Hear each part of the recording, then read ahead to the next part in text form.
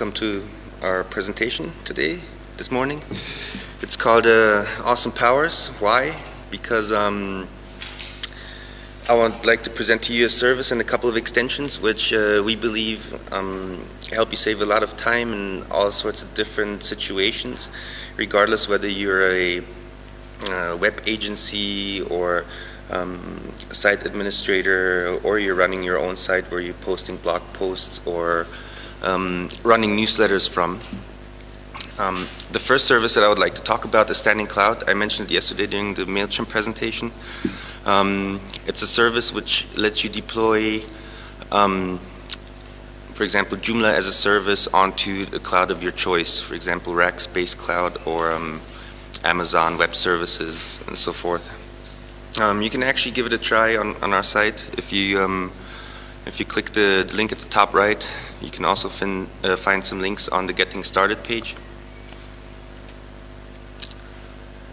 Basically what it does, it takes you to this page, you click on Use It Now, and then you can uh, get started with the Joomla site. It installs it uh, within a couple minutes. Um, you can use your Google or Yahoo or Facebook account to get started, so it's really fast. Um, essentially, time saving and cutting down on routine processes uh, should be everybody's goal. Um, and that's why we have interesting presentations here like continuous integration, but this also applies to other areas. For example, like um, site population. Um, I know there's a couple of um, other extensions like the mass uh, mass content, I believe it's called, um, but all you do is um, enter things into fields in a in a view. You can't actually necessarily save those, review them, or pass them to uh, your coworkers to work on them. So, Standing Cloud helps you deploy um, a Joomla mailer site, uh, a Joomla site with Joomla mailer pre-installed, and all you have to do uh, once you get going, uh, you install the content uploader that's a, the extension which uploads um, Excel sheets into your site to turn each row into articles so that you can populate your site with hundreds of articles, set up the site structure with sections and categories in a spreadsheet, and then just have it instantly populate your site with it. I guess all you guys know how this goes. For safety purposes, um, I did like a slideshow of screenshots in case the internet wasn't working too well. So after installation, um, we head to the interface. Um, it's very simple. You have a upload button with a browse um, button next to it where you select your Excel file that you want to upload. Um, in our case, um, what I'm trying to demo here is a, a, shop, a small one with a tiny product catalog um, who updates uh, the catalog periodically and then sends out newsletters with the contents. And you'll see in a second how this is extremely time saving if you're using this combination of extensions. Um, as you can see, the, the interface resembles a lot the, the create um, article view. Um, what you do is you add uh, the cell references from where you want to pull the the data into a particular field or into your WYSIWYG, um, you, you place them at the, at the place that you need to have them in. For example, let me show you this. All right. Um, we have a spreadsheet here. This is our shop sample. Um, the section and the categories uh, we've taken to um, put in the front. You can see it's in A and B. If we look at the configuration, we put down for the section column A and the category column B. Is pretty straightforward. If we have a look at some of the other columns, we have um, uh, the author of the book, uh, the prices, whether it's in stock or not, um, and you can set these up in a table. And if you then have hundreds of items, they each one of them gets put into this mini template, so to speak, that you can set up with your WYSIWYG. So after you've done that and you've created your Excel file,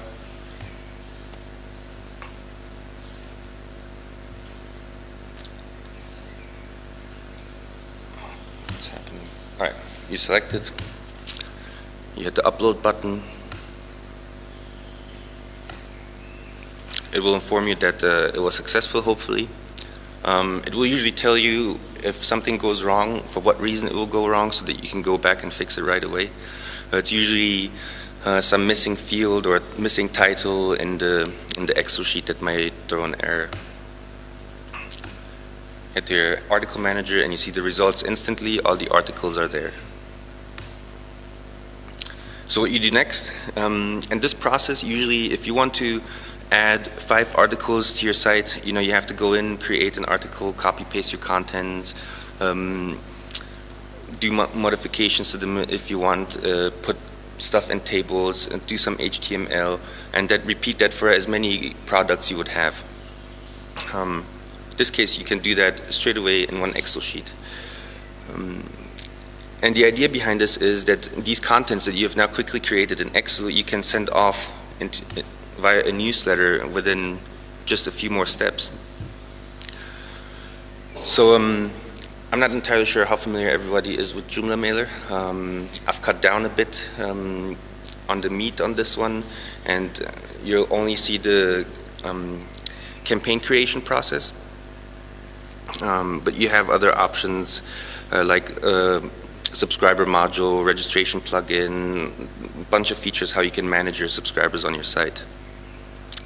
So after uploading our contents, um, we hit create campaign. On the first tab, you set up your your default uh, settings. If you haven't already in your parameters, you give your campaign a name and the subject that the, your, the subscribers will see in their email client. And then we get to the interesting part, adding the content. We select the template, um, which you can also create inside Joomla Mailer with a template editor. It's really easy uploading your, your own header and changing the colors. And then you get a list of all the different items that are in your books category uh, section. Um, these sections and categories got created automatically, which you can now just uh, set a check mark uh, for each one of the items that you want in your newsletter. You can also select whether you want to, to, add them as full text or only the intro text would read more links. Um, and you know, that's basically all to it. Um, you have a sidebar um, in which you can add uh, promotional codes or ads from other companies or just other text. Um, you also have the option to add a table of contents, which is quite interesting when you have a catalog, because then people can jump straight to the point that interests them via an anchor, anchor link. Um, in our case, we just added a ad and our Twitter credentials. Turned on analytics so that you can also uh, track your campaign in Google Analytics and see the impact at the point in time that it had when you sent out the newsletter campaign. Uh, the last tab is the folders tab, which I particularly like because it helps you organize your newsletter campaigns very easy. Um, instead of detaching this from, from the actual process like MailChimp does, we brought it back in so that you are always, again, reminded to assign your campaigns to a folder. then you preview um, the newsletter you just created, and you can see um, Mums Know Best, the, the top book in our list the author and some information. You can see the price. It's all in there. You can scroll down a bit and see the books listed that we just added to our site just a couple minutes ago. So once you save your campaign, um, you choose your list. In our case, we didn't have quite a lot of in, um, interested people, uh, only four. and you can then also segment your list, especially when you're running a shop. You know, some people might be interested in in thriller books, and some others in I don't know comedy. Um, and if you collect these uh, these interests, then you can also accordingly send product catalogs based on these interests.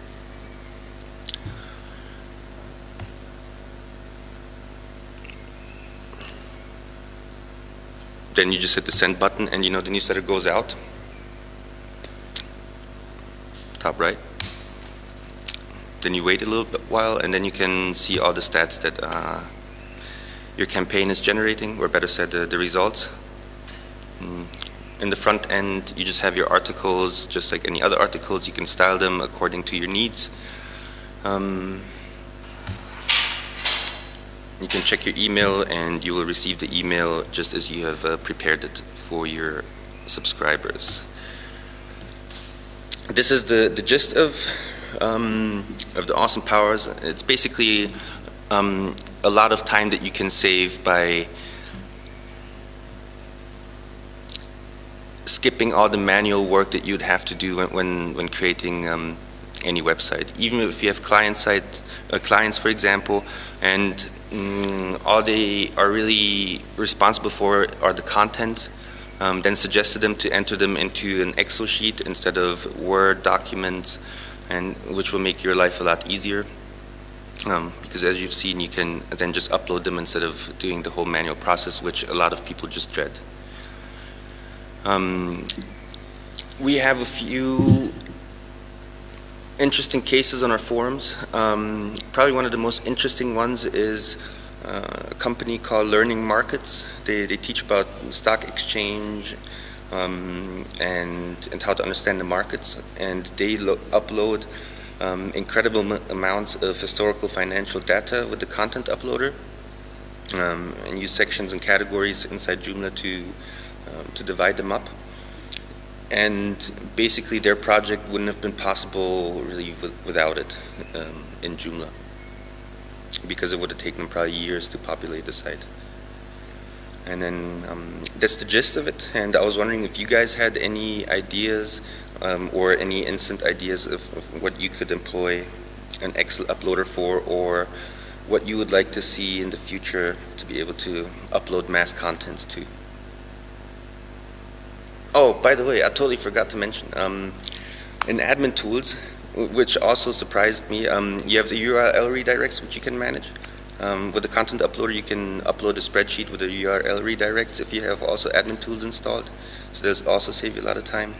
Um, it works with K2, your web contacts, uh, your web links, and Joomfish translations as well. So you can set up a workbook with your main contents on the first sheet in English, and then you have copies of these sheets in your other languages. And you can upload all of those at once. So that's where mm-hmm. Yep. You will get an option you know to choose the languages if you have it installed.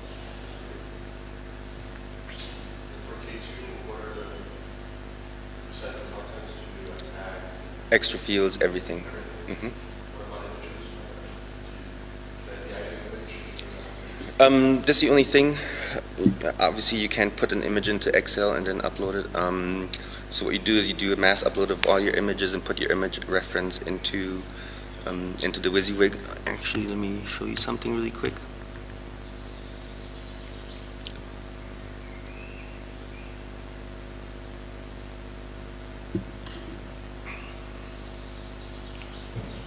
You, because it's it's just a basic content editor, you can use any plugin in here when you're setting up your configuration. If you want to add a YouTube video here and you have all video plugin installed, you know, you just do your little YouTube tags and you add the code in there. Uh, the reference to, to that video in your spreadsheet and then you have all these videos embedded. Yes, please.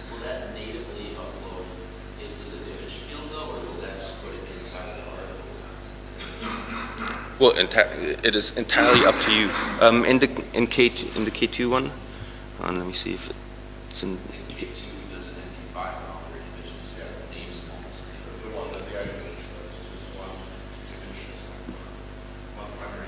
You mean for that image tab? Actually, I'm not even entirely sure at the moment, but um, I'm pretty sure that it does work because all the other tabs work as well.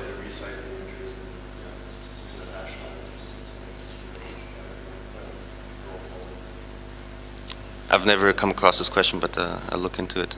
But all the other tabs work for sure. Um, also, your extra fields, you can create as many, and and basic. anywhere you can put a cell reference, you know, or anywhere you can add anything, you can add um, a cell reference from the Excel spreadsheet. For example, uh, what about authors and, and things that are usually you know, drop downs uh, that are selectors from another table that will go and create system, it, it creates categories and all this, but it will create uh, uh, authors with users. In, in our commercial version, uh, which is a lot more feature-rich, um, that's where the K2 um, uploader is in. Um, you can also add some more cell references to certain um, fields, for example, for the author or uh, for the access level, I believe, as well, um, so that you can set it different for different articles instead of for the entire batch. Also for the for the front page and these kind of things, you will also be able to set it on an individual basis in the pro version. But this, you know, does the job. If, if you're a small company, you just you know don't run any fancy extensions. Uh, this can save you a lot of time.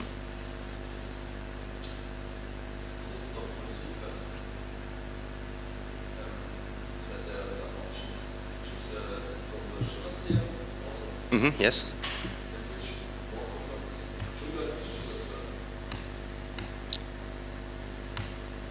Um, you mean um, when you're sending the, the email? Oh, um, Joomla Mailer, what it does is uh, when people register on your site, uh, you can use the registration plugin to, to put a, checkbox for the newsletter on your registration page, on the core page. Uh, it overrides it. And people have the choice uh, to uh, um, sign up from there. And in the configuration, you can also add your Sugar CRM or Highrise APIs so that you can add those users also to these two systems uh, to, you know, for contacts management. Um, yes. About the, uh, is the security control segmentation. Do you plan on uh, supporting some uh, multiple subscription components so that you can always send uh, newsletter to your subscribers? Yes. Make them very happy. Good. But that's also uh, what you didn't catch yesterday. So, give me a second, please. Um, what you didn't catch yesterday was that uh, we're building a content plugin system for this, so that you can uh, create a plugin for Flexi content or for, for any other type of uh, subscription system. Also, that you can also send your subscriptions to your users, you know, to entice them to buy more, and. Um, also, you know, um, with the content plugin system, you'll be able to basically put in any kind of contents into your newsletters. Um, absolutely. Um, and this is what we're currently working on. Um, and um, we're testing it on a Flexi one, and after that, uh, we're looking at uh, building an Akeeba subscriptions one. You'll be happy about that. Oh, yeah. Yes. Uh, So you launched your instance at Scan Cloud. mhm. Um, I'm assuming that's for scan issues, that you guys are allowing people to launch in cloud or what, No. Um, in order to you know test an extension, uh, you uh, or is this just a demo site? kind of. I mean, you can do both. You know, just demo it and continue using it if you like it. Really. Um, but primarily, it's it's a demo site because it's hard to, to demo this stuff um, because it's all admin functions. So them offering to us to create a, an image with Joomla Mailer pre-installed was just uh, very lucky for us. And so if you want to, is it like a, uh, it's credit, I think I saw five credits, so it's probably credit based, or like, maybe you want to send out, Um, Joomla Mailer is either pay monthly or pay as you go, so you can choose whatever fits you best. Um, they have pretty good monthly plans because with those, sorry, you can uh, send out unlimited emails. so there's not a, just buy once and yours. No. Do you do anything spam or anything? Um, they have very strict regulations as to how you can collect your emails. Uh, MailChimp. Um, Um, in order to use Joomla Mailer, you, you do need to use MailChimp. Um, we did that and to be able to offer uh, the infrastructure to Joomla users, basically. and, and this is their application network. I mean, they have, here's another one of our um, plugins, except it's a Mail, um, MailChimp plugin for WordPress, with which you can also pass contents back and forth. You can also fire it up from here and uh, give it a test drive if you're a WordPress user. Am I allowed to say this word here?